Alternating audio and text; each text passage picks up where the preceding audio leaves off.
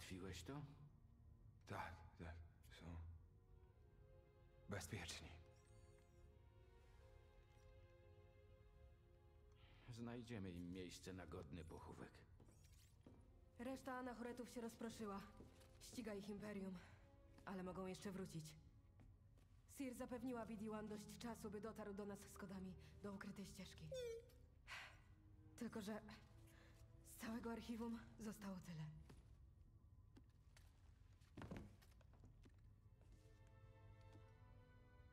Druga szansa była już tak blisko.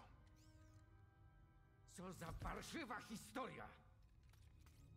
Powiedzcie, jakim cudem Bołd był Jedi i imperialnym szpiegiem? To nie Jedi. Nic nie wyczuliśmy. Zwiódł wszystkich. Nie, i tak powinienem był go... Dosyć tego! Kal! Wystarczy już, dobra? Za to, co zrobił, trzeba winić jego. To nie twoja wina. Ani nikogo z nas. Tylko Bołda. Wiemy, że gra jest ustawiona, ale chcemy grać po swojemu. Szkoda tylko, że nie ma nagrody za jego głowę. Można by go wyśledzić przez gildię.